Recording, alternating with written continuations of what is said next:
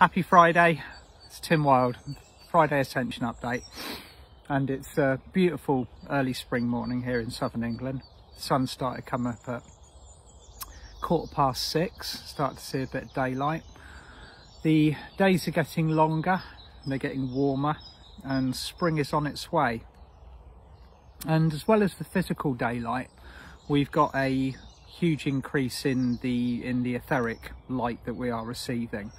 I was talking about this last night in my blue blue rose workshop, the Pleiadian healing workshop, and um, for those of you who've been following me on Zoom and and the the workshops that I ever do on my own with Carolyn, with Diana, with David.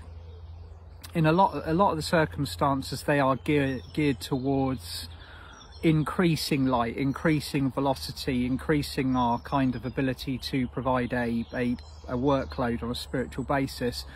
But just occasionally, and last night was one of those circumstances, I get the get the nudge from the universe to just create a healing pool uh, or like a, a healing group because I think at the moment and um, uh, I always I always use myself as a, as a bit of a litmus test. If I'm feeling a certain way, I can guarantee that other people are feeling a certain way. A lot of us on this pathway at the moment, we're all very interconnected. We've got similar but never the same challenges being presented to us, and we're all kind of running on the same on the same gas. The same light that's coming in is is is our fuel, it's our momentum, it's the, the light codings that we all individually need. And this is as well as the the circumstances that we are kind of participating or faced with in, in, in the kind of 3D circuits around us. And it occurred to me that it's been a year since all of it. Now it's we're coming towards the end of February and it's been a full year since the global navel chakra was activated and we got really pushed forwards. And all of the circumstances that we've been experiencing for the past year have begun. Now what i'm what i'm seeing and the re the reason why i organized like a healing zoom was last night is because i'm getting the overall impression that many of us are quite tired okay and not not just tired on a physical level but i'm talking um, kind of quite exhausted on a soul level as well. And this alternates. Some days we can wake up and we feel absolutely marvelous we feel like you know we're already in 5d our heads are in the clouds we're grounded. Everything's kind of moving along swimming you know and then wallop there is a there is a what i call a flex in the field or a release of density or a or an obstacle, energetic obstacle that comes up that that knocks us completely in the other direction. So we're kind of constantly we're we're flim flamming or yo-yoing or or snorkeling between these these two kind of um it's a very up and down it's a very up and down pathway at the moment and so my observation is that that we are we are feeling a little bit a little bit fatigued a little bit knackered on a soul level. And a lot of this is coming from having to deal with 3d circumstances. You know we talk about you know some of us are lucky enough to share our lives with other people that are awake but others on the pathway we've not we've not yet found or settled into the the kind of like the higher vibration commune of our soul family. And that's where it gets really wearing for a lot of you out there and I, I, know I know this in my heart of hearts that if, if, if there's you awake holding the light speaking the truth doing the job that you've incarnated to do but you're surrounded by people that are still asleep and they are in many cases they've been quite oppositional this can be really draining. It can be absolutely exhausting. So it's where we are at the moment. We're just about to launch into another very very fast moving year this next six months is going to be the it, it's the, this is where we're we've kind of reached the crest or the what I'd call the tip of the wave just before it breaks of the ch the change energy. The reason why it's been so fast moving why it's been so so roller coaster is because in order to provide change for a planet on the level that we are seeing, a huge amount of energy had to be applied to to Earth, and and in order to alchemize the, the old matrix, move us out of that and into one that we are creating as we're going along. In this coming August, the storm layer that you've heard me talking about previously is beginning to slow down.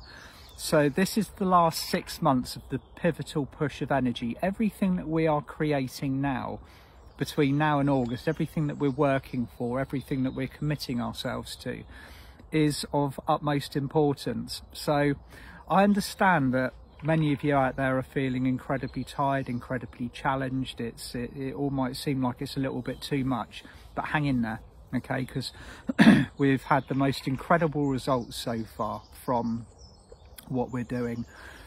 It might not seem like it on on a on an outside level. You might look at the people around you. You might look at the oppressive circumstances that are being kind of blah blahed by the news all the time but trust me, it is working. I'm always told whenever I have a little niggle or a little doubt or or a little kind of a stamp my feet moment, which we all do.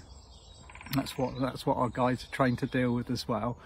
I'm told to trust the plan, anchor in there, because where we are at the moment is it's it's we've reached critical mass on the awakening phase. Last year, two billion extra souls were triggered into a state of awakening. Now, the the in in many circumstances, when somebody is shown the truth, when they're when the fifth veil comes away from the third eye, and all of the light and all of the knowledge and all of the extra sensory stream in, there's two ways that they tend to deal with it.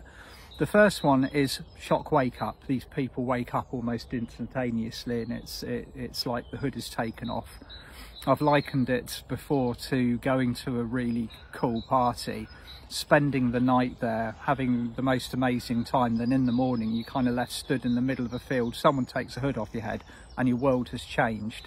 That's that's one way of kind of waking up and grasping what's going on at the moment. But the other one is probably one you're a lot more familiar with and see around you quite a lot: the cognitive dissonance, where people are now literally actively denying the truth of what they see. And it's most evident on social media. Now, these are the energy, Jay. This is where it gets really exhausting for us because a lot of the time we feel like it's our it's our sole duty to kind of educate or wake these people up or assist them. What we need to do, or what I put the way I always deal with this, is just stand back and let the energy take its course. Okay, you can plant seeds, you can you can drop truths, you can you speak you know, speak your truth at all times, but as I've said previously, never take it upon yourself to try and shake people awake faster than they are, because believe me, the universe is doing that for us. The next six months, the the this uh, I think uh, you know I spoke about this the last time. It is pivotal. Okay, the the energy that is building at the moment is uh, it's reaching a pitch, a crescendo and I'm noticing, and I know a lot of others are noticing as well, truths are starting to come out in the mainstream media eh, from sources that we would never have, you know, we would have never like, wow, okay, so they've, they've changed their narrative. And it's, it, it, I believe that there's two timelines almost running parallel with each other. There's one where the, the, the 3D and the 3D results are very much going in that direction. And there's also the one that we're existing in that we're creating and as we're going along. So it's very fluid, it's very pliable. Everything that we add to it on a daily basis builds to it. So it's incredibly important. So I know you're feeling tired. I'm, um, I get my good days and I get my tired days. And I've, I've always been very honest with everyone if I'm challenged by something or if something has caused me opposition, then I learn from it. That is how I manage to give the information out that I do because it's usually nine times out of ten it will be a personal experience that I have navigated myself and that I have learned from. The other one, the other small percentage of it is just information that is dropped in and is given to me as a heads up in the general the general direction that we're going. So yeah, the yo-yo of tiredness, the roller coaster of ups and downs, they will continue. okay but the beautiful part about it is we've now got spring we've got now got spring in our tails or spring in our step especially in the in the south of the uk A bit chilly this morning but the sun's out birds are singing and with more daylight comes more joy more vitamin d more kind of opportunities to go out and get fresh air. Stay grounded. Get yourself out in nature. Do the things that make your heart sing. Take time out of the process that we're experiencing at the moment. If you have found yourself kind of reaching maximum density that you you've, you've suddenly you just you, you're tired you can't take anymore you just need to withdraw do that and I've always said like if you need if you need to bail out and you need to kind of hand it over to the others then do it. Because you know back in the day we might have kind of because when we're when we're less connected uh, you know social media has brought us all together. When we were less connected we kind of like had this mantle of responsibility on our own personal shoulders. We thought that literally we're the only ones that are out there you know as as one steps back two step forward at the moment there's so many of us on this pathway so many of us accepting responsibility for the job now we just we've just got this huge surge of awakened souls on this planet who are ready and waiting and already actively involved in doing this task. So yeah, that that's it. It's just um, I noticed particularly this this week has been quite challenging energetically and a, a, lot of you kind of reflected that in the, the Zoom workshop, the Pleiadian Rose workshop last night. On Monday, uh, obviously I live in the UK, you can probably tell by my accent if you haven't heard me before on Monday we had further announcements for the lockdown, you know, the, the, the, whole the whole kind of palaver that's that's going on globally. But and before that occurred, before the announcements, which a lot of people were kind of waiting for with trepidation, the the information came to came to me get get ready with the violet flame you know basically douse your bodies and fields with the cosmic diamond violet flame the lilac fire of source the golden rainbow flame whatever your flame of choice is and make sure that there is a substantial quantity of available for the collective because when these announcements are made we've got a huge field of people in the UK whose livelihoods depend on what is being rolled out by the by the by the powers that be say that in inverted commas. And so the the there is a huge field of frustration. There's a huge field of kind of righteous anger and worry and fear. And when these are triggered at a certain time collectively that that that field flexes it, it, expands you know fields of energy expand they contract they they alchemize they get added to they're like they're like iClouds like pools. So there was this huge flex in the field on Monday night, particularly in UK, around between 5 and 7 pm. And although I'd been told, although I'd been given the heads up, I didn't quite violet flame myself enough, and I felt it. I really did. And um, so a lot of you will be kind of dealing with this increase in in the, this build up, this pensiveness, this one thing about people who are awake but they're not acknowledging it is that their frustration is rising okay? A lot of the time we're we're talking on social media you see it in comment threads people acting irrationally people being angry people lashing out a lot of this is because when you ignore the reality or the truth of something and you hold it inside it turns into anger it turns into rage it turns into a negative emotion so there's a lot of people lashing out at, the, at each other in the fields, especially on social media. You know, it's it's a good it's a good thing to disengage from social media from time to time. It can be incredibly supportive because it's the way that we all communicate with each other. It's the way that we receive our info, the positive information. But it's also a really good place to get into a ding dong. As many of you will know, if you if you you're in the if you're in the truth speaking camp, then it can be it can be a place that can really take your energy and, and knock you down a little. But so yeah, that's my Friday message today. It's um, take a step back and give yourself some R and R if you need it, because soul fatigue is is at an all-time high. But this is and this is the big but. We are now entering the final creationary push. The next six months are very very important So take your little bit of time out and then get straight back in there again because because all hands on deck, all boots on the ground, everybody is absolutely needed. And and like I've said previously, if if you are struggling, if you are feeling that um, that, that you are under pressure, then call on the angels, call on the unicorns, call on the dragons, call on the ascended masters. You have a team of highly dedicated light souls all around you at all times, but they need permission to intervene with whatever you are experiencing it. Be it a test, be it an initiation, be it something, a project that you are working on. Call for assistance or maybe take a step back. You can always pick it up again a little bit later down the line when you've regenerated. So call on them. They, they are that's that's something that I've been told is like you know we're, we're surging forwards so hard at the moment that that we almost and we've taken this level of responsibility almost forgetting to ask help from the souls in in in the light realms who are basically gathered around this earth in quantities that have never been witnessed before um, doing their own part and and they're here to help us so yeah and hear a woodpecker over there, I think. That's a nice addition to the morning. And yeah, I should think probably the next time I speak to you, it will be March.